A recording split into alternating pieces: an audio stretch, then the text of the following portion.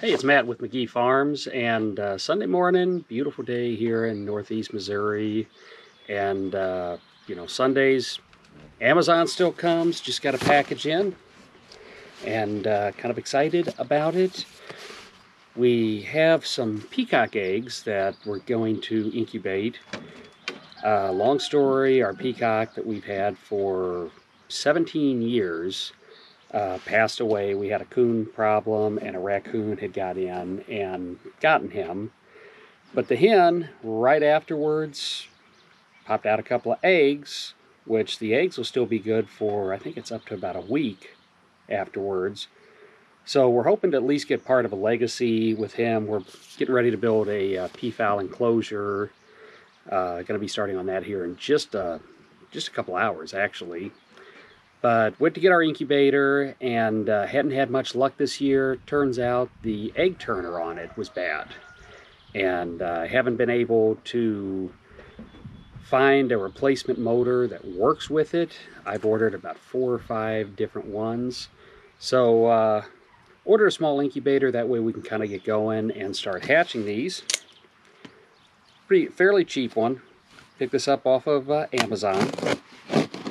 Put a link down below and as we're going along we'll uh, you know kind of look into how it's going, what the hatch rate is because there's so many of like different incubators out there you never know which ones are good and which ones are basically crap. So let's pull that out of the box, take a look at it.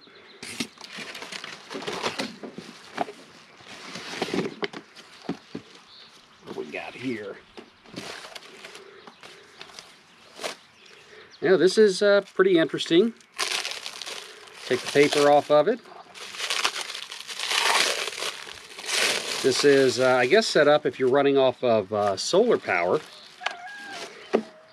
You've got your regular plug-in, but it also comes with a plug-in.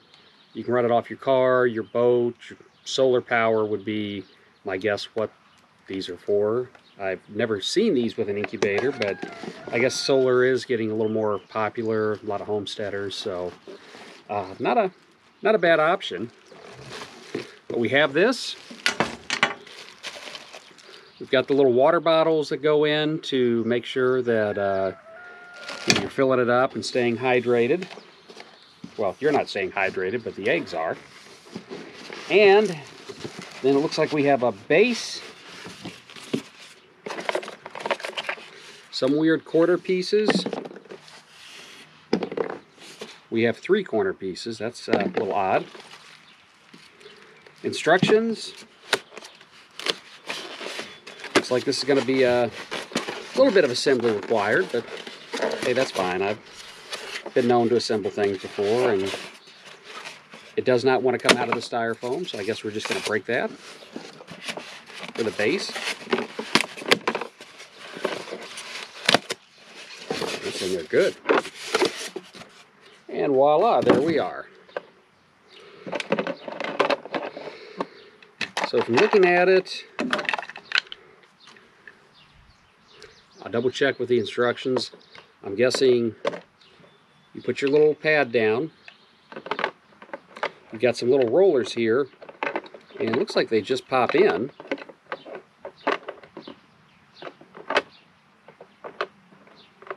I guess there uh, there's several different slots depending on what size eggs you're using. So we're going to do maybe every other one. That should use all of them, and that should be probably about the right size for the peafowl eggs. Got your top, just pops on, hook it up and get going. So I'm going to take this inside, to take a look at uh, hook it up, take a look at it, see how easy it is to operate, go through the instruction manual.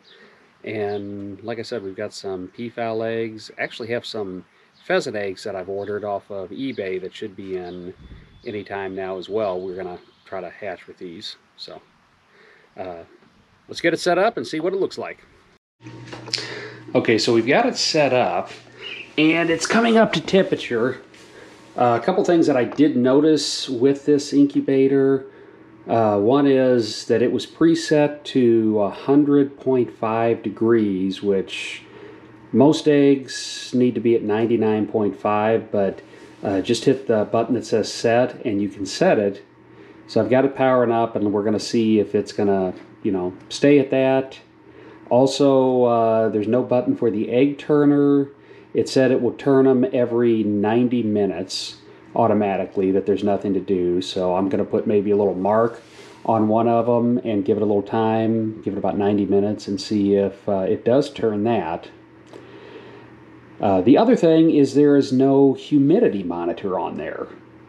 A lot of these, most of these that I've had, uh, have the temperature and humidity monitor. This does not, so I'm gonna probably get one and keep in there just to be safe. It just said to uh, add water every two days, but need to be a little more precise on the humidity when it comes to hatching eggs. So I'm going to figure out some kind of humidity monitor that'll kind of fit in there. If need be, I'll take one of the rollers out so it'll fit in.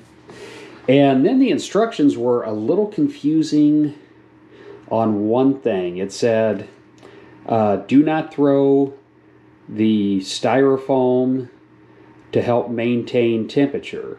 So I don't know if you're supposed to leave the styrofoam around the base, but then all the pictures of them showing it working does not have the styrofoam around it. So again, I'm gonna, I guess, kind of monitor this, uh, wait an hour or two before I put any eggs in, and see what happens. If it's holding temperature, I mean, we're keeping it inside because uh, having having lost our our big guy, I mean, he was kind of like a mascot of our farm, so you know, I definitely want to try to make these eggs hatch if possible. Uh, so we're, you know, really kind of focused on that. Uh, also, the cord is very short. So uh, if you're not close to an outlet, you know, you got to need a uh, extension cord to run to it. Much shorter than many of the others that I've had, but I mean, all in all, it doesn't look like a bad setup. It was cheap. It was like $39. So, uh, you know, maybe I get what I pay for, but like I said, the egg turner on my other one was bad, and we weren't getting a good hatch rate. So I figure, let me get this so I can go ahead and start hatching, and then try to find the parts I need to fix the other. And then from here on out, I'll have two. But that's where we're at so far. We're going to wait a couple hours I'm going to put a little mark on one of the rollers, see if it does turn in 90 minutes, see if it holds temperature, and in about an hour and a half, uh, if everything's okay, I'm going to go ahead and start adding eggs. So it's been a couple hours, it's still holding temperature. I went to try to pick up a humidity monitor and uh, no place around me sells them. I'm in a small town, so it's pretty much Walmart or a farm and home, and yeah, no luck. So I'll pick one up when I go to work tomorrow. I'm going to be kind of flying blind. Hopefully day shouldn't make that much difference. It's got humidity in there. Hopefully it's enough. And I've got my eggs. And I went with all of them. I've got an X on one side and an O on the other side, plus today's date, which is July 9th. That way I can make sure that the eggs are being rotated uh, by looking at it, making sure you know it's all X's or all O's that they're you know it is changing. So I'm going to pop them in here, and uh, hopefully in 29 days we're going to have some pea chicks running around, and I'll give you updates uh, as the month goes on.